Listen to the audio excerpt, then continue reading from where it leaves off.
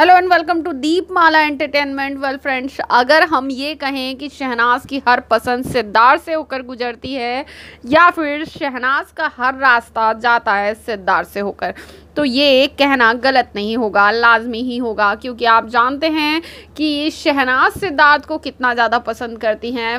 वैसे अब तो आलम ये है कि सिद्धार्थ भी शहनाज के बिगड़ नहीं रह सकते, क्योंकि उनके इंटरव्यू में कई जगह उन्होंने ऐसी कुछ बातें की जिनसे साफ़ ज़ाहिर हुआ कि वो पूरी तरह से शहनाज के प्यार में हैं। दोनों एक दूसरे को डेट कर रहे हैं, जल्दी अपना रिश्ता भी ऑफिशियल कर सकते हैं। वेल, लेकिन अगर बात शहनाज की करें तो शहनाज तो दीवानी है सिद्धार्थ की। जी हाँ ऐसी कोई चीज़ नहीं जो उन्हें सिद्धार्थ की पसंद ना आती हो। लेकिन भाई, खुल्लम खुल्ला कौन कह देता है? शहनाज ने तो अपनी हर एक बात का इजहार सिद्धार्थ को लेकर किया। सिद्धार्थ से जुड़ता हुआ किया, सिद्धार्थ की बातों से जुड़ता हुआ, पसंद नापसंद से जुड़ता हुआ किया। किस तरह से? चलिए आपको बताते हैं। शहनाज से पूछा गया आपका फेवरेट कलर कौन सा है? इस पर शहनाज ने कहा कि ब्लैक है वाइट है समटाइम्स मुझे येलो भी पसंद है। जी हाँ इसी तरह से उन्होंने कहा समटाइम्स मुझे येलो भी पसंद है।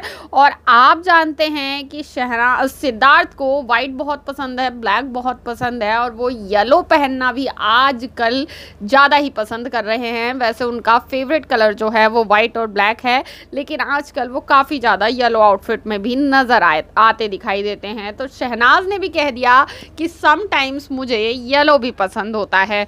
तो यहाँ आप पूरी तरह से देख सकते हैं कि शहनाज की जो पसंद, नापसंद है, जो दिल के रास्ते हैं, जो सड़कें हैं, वो पूरी तरह सिद्धार्थ से होकर गुजरती है। ऐसी कोई बात नहीं होती कि जब उनसे कुछ पूछा जाए और उसका सवाल, उसका जो जवाब है, वो सिद्धार्थ से होकर ना गुजरे। ऐसा होना तो पॉसिबल ही नहीं है। वेल अभी के लिए ये रिपोर्ट अगर हमारी पसंद आई है तो जल्दी से चैनल को सब्सक्राइब कीजिए वीडियो को कीजिए लाइक और कॉमेंट करके बताइए कि शहनाज का ये अंदाज़ आपको कैसा लगता है कि उन्हें सिद्धार्थ की हर चीज़ आती है बहुत ही ज़्यादा पसंद।